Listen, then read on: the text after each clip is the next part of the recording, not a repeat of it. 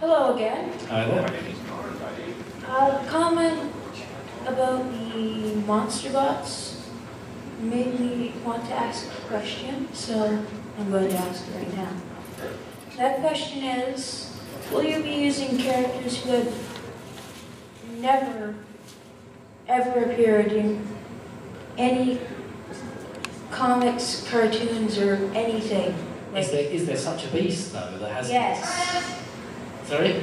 Laura Curtis. Oh, okay. Yeah, Uh, see- the thing is, I have a, I like have a, I have a feeling that I'm Nick. Nick and James have probably got the market cornered in characters that, you know, haven't made it to the comic page, and I wouldn't want to sort of steal their thunder either. But, you know, I would say there's no limits really with 81 and onwards, what characters we can feature. If there's a, you know, a compelling reason to feature them, other than just as, you know, I don't want to throw characters in there just as kind of cannon fodder. If I'm going to put characters in there, I really want them to be in there for a reason and to propel the story forward. So I'd say there's no limits, but neither do I want to just tick off every box, you know, and say, well, good, we put that character in a comic. I don't think that's really the, the idea of, of what we want to do here. alright.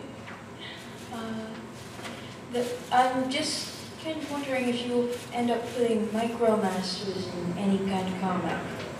Oh, I don't know is the answer to that. And, you know, so much of this is not just me being evasive. I absolutely don't know sometimes what characters will surface in the next sort of 20, 21 issues that we've got.